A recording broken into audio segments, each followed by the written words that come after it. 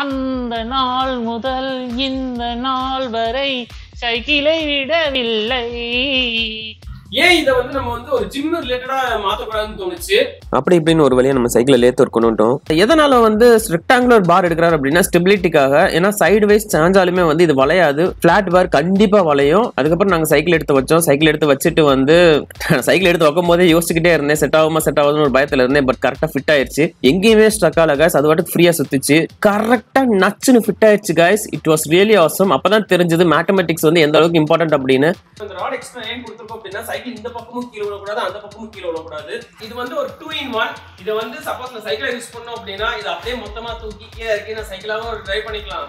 இல்ல இப்ப மழை காலம் இருக்கு என்னால வெளியே ஓட்ட முடியல நான் வீட்டுல வச்சுதான் ஓட்டணும் அப்படின்னா இந்த ஸ்டாண்டை நான் ஃபிக்ஸ் பண்ணா போதும். It's over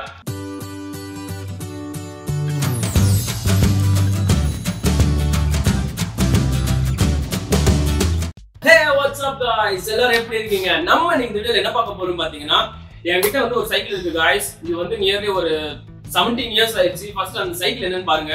ஒரு தடவை என்னை பைக்ல ஓட விட்டுட்டு நீ சைக்கிள் எழுத்தி வந்து முடியாம உனக்கு தண்ணி தாக எடுத்து இவனுக்காக பைக்ல ஒரு அரை கிலோமீட்டர் போய் தண்ணி பாட்டில் வாங்கிட்டு வந்து அந்த சைக்கிள் தானே? ஆப்வியஸ்லி அதே சைக்கிள் தான் காய்ஸ் டூ தௌசண்ட் ஃபைவ்ல வாங்கினேன்னு நினைக்கிறேன். ஆமாம் டூ தௌசண்ட் ஃபைவ்ல வாங்கினது இன்னோட நியர்லி செவன்டீன் இயர்ஸ் ஆயிடுச்சு. இது வந்து பிஎஸ்ஏ ஸ்பைஸ்ன்னு சொல்லிட்டு அப்போவே மாடர்னைஸ்டாக வந்த சைக்கிள் இது.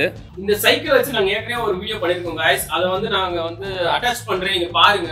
இந்த வீடியோல நம்ம என்ன பார்க்க போறோம் பாத்தீங்கன்னா நான் வந்து என்னோட சைக்கிள் அப்டேட் பண்ற பிளான்ல இருந்தேன் கைஸ் ஸோ பழைய சைக்கிளை வந்து அவங்க என்ன சொல்லியிருந்தாங்க நீங்க எக்ஸ்சேஞ்ச் போட்டு எடுத்துக்கோங்க. நாங்க நியர்லி ஒரு ஃபோர் டு ஃபைவ் தௌசண்ட் போட்டு எடுத்துக்கோம் அப்படின்னு சொல்லியிருந்தாங்க. ஆனா எனக்கு மனசு கேட்கல ஏன் அப்படின்னா இதை வச்சு எனக்கு திரும்பி பழைய ப்ராடக்ட்ஸ் இருந்துச்சுன்னா அதை எப்படி ரீயூஸ் பண்ணலாம் நான் யோசிப்பேன். ஏன் இதை வந்து நம்ம வந்து ஒரு ஜிம் ரிலேட்டடா மாத்தக்கூடாதுன்னு தோணுச்சு? என்னதான் வந்து நான் அடுத்த சைக்கிள் வாங்கினாலுமே வந்து அது அவுட்டோர்ல தான் மேக்ஸிமம் யூஸ் பண்ற மாதிரி இருக்கும். இந்த ஒர்க்குன்னு ஒன்று தேவை. நான் வந்து ரொம்ப நாளா வந்து ஆர்பிட்ருக்கு வாங்கணும்னு ரொம்ப நாள் ஆசையில இருந்தேன். அப்பதான் லிங்கேஷ் எனக்கு சொன்னாரு டே அப்ப பழைய சைக்கிள் நம்ம ஆர்பிட்ருக்கா மாத்திருக்கோம்டா அப்படின்னு சொல்லியிருந்தாரு. ஸோ ஆக்சுவலாக மழை காலம் வேற ஆரம்பிச்சிருச்சு. காலங்காத்தால குளிரும் மழை வேற வரும். ஸோ அதனால வெளியில போய் சைக்கிளிங் காலையில பண்றது வந்து கொஞ்சம் கஷ்டமான காரியம் எனக்கு இவன் கொடுத்த ஐடியா வந்து உண்மையிலே ரொம்ப பிடிச்சிருந்துச்சு.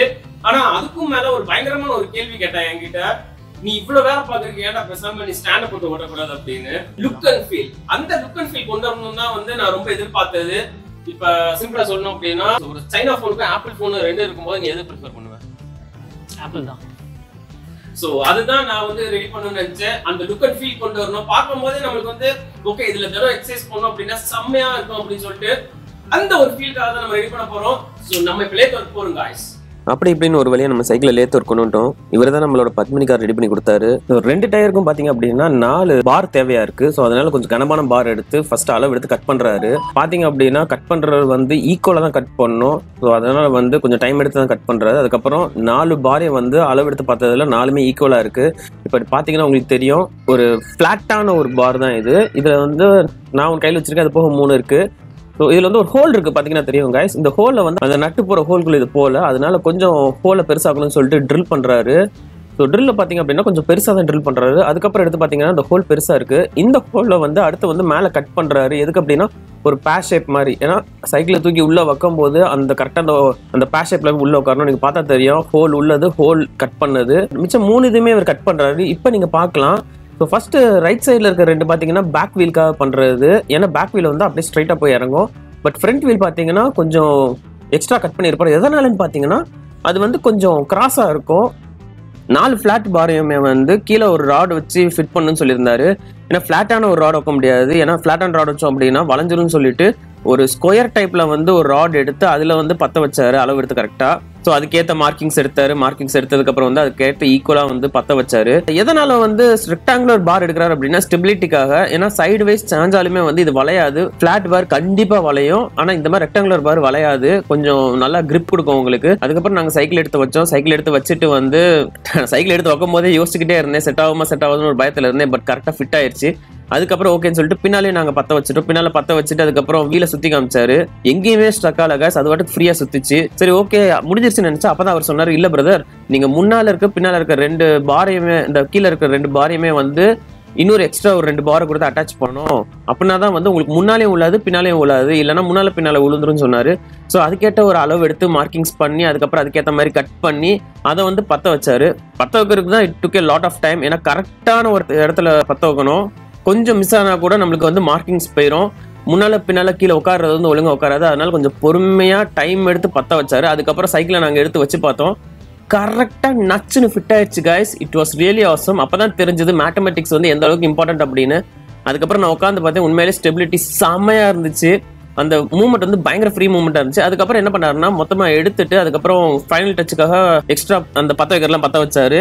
அந்த சைடுல ஒரு ராட் இருக்கு பாத்தீங்களா? அந்த எக்ஸ்ட்ரா ராட் எதுக்கு அப்படின்னா சைடு வேஸ்ல கீழே விடக்கூடாது வளைஞ்சிடக்கூடாது. அதுக்காக தான் அந்த எக்ஸ்ட்ரா ஃபிட்டிங் நாலு இதுக்குமே கொடுத்துருந்தாரு. நாங்க இந்த வேலை முடிக்கிறதுக்குள்ளே மழை வந்துருச்சு காய்ஸ் செம மழை அன்னைக்கு சாயங்காலம். அந்த நாள் முதல் இந்த நாள் வரை சைக்கிளை விடவில்லை. என்ன விவேக்கு சௌக்கியமா இருக்கியா? ரொம்ப நாள் ஆளே பார்க்க முடியல. சரி ஓகே லிங்கேஷ் இதை பத்தி உங்களுக்கு ஃபீல் என்ன தோணுது? நல்லா தான் இருக்கு. அண்ட் இன்னொன்று என்னன்னா நமக்கு ஃப்ரிக்ஷன் வேணும் அப்படின்னா பிரேக்கை கொஞ்சம் அழுத்திக்கலாம். பிரேக் தேஞ்சதுன்னா நம்ம பிரேக் வேற பிரேக் வாங்கி போட்டுக்கலாம். அதனால வந்து நமக்கு தேவையான அளவு ஃப்ரிக்ஷன் கிடைக்கும். ஸ்டெபிலிட்டி நல்லா இருக்கு. அண்ட் இன்னொன்று ஒன்று இப்போ என்ன பண்ணிக்கலாம்னா ஃபோன் ஹோல்டர் ஒன்று வாங்கி போட்டு ஃபோனை இங்கே மாட்டிக்கிட்டு அப்படியே படம் பார்த்துக்கிட்டே ஜாலியாக ஸோ ஆக்சுவலாக வந்து நான் ஒரு ஹண்ட்ரட் அண்ட் ஃபைவ் கேஜிஸ் இருந்தேன். அதுக்கப்புறம் இப்போ 95 ஃபைவ் கேஜிஸ் வந்திருக்கேன்.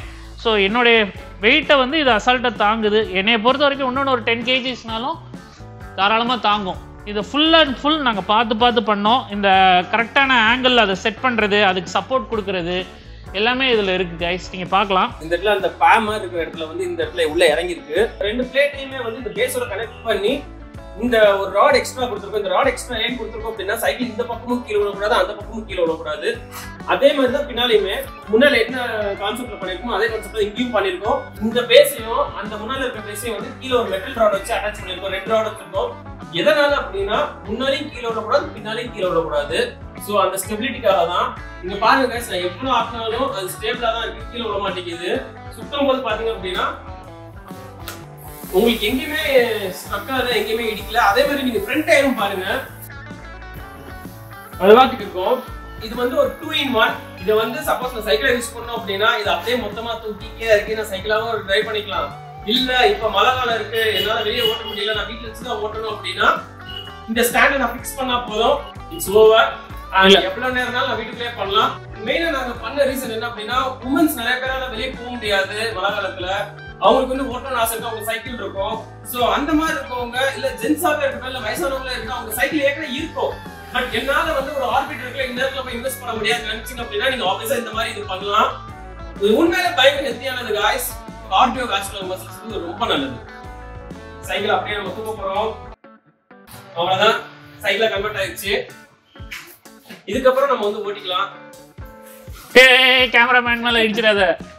இது யார் மேலும் முடிக்கலாம் இதோட டோட்டல் வெயிட்டே பாத்தீங்கன்னா it will around twenty KGs தான் இருக்கும். So, அவ்வளவுதான். இது வந்து நீங்க சினி ஹேண்ட்லேயும் தூக்கலாம் அப்படியே உங்களுக்கு டம்பிள்ஸ் மாதிரி யூஸ் பண்ணிக்கலாம். யா மச்சான் அங்கே பாரு. யா டூ எல்லாருக்குமே வந்து ஒரு காலத்துல வந்து ஏஜ் ஆகத்தான் செய்யும். ஸோ அந்த மாதிரி டயத்துல வந்து நமக்கு ஒரு சின்ன சின்ன ஐடியாஸ் இருக்கு. நம்ம வீட்லயே வந்து நம்ம சைக்கிள் ஸ்கூலுக்கு கொண்டு போன சைக்கிள் வந்து ஒரு ஓரமாவே இருக்கும். யூஸ் பண்ணாம.